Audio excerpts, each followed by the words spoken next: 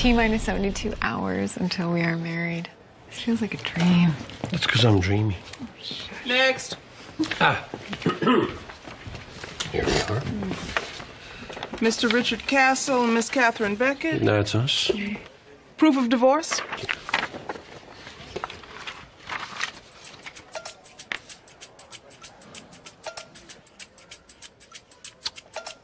I- Is there something wrong with my documents? They're in order.